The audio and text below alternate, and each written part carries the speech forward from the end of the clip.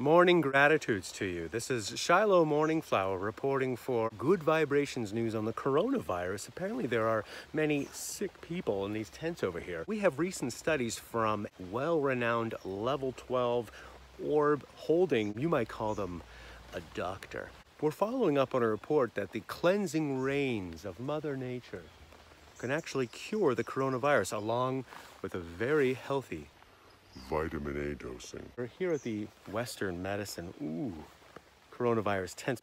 We're gonna go have a little look. All right, you little sickies, get out of bed. I've got your matcha.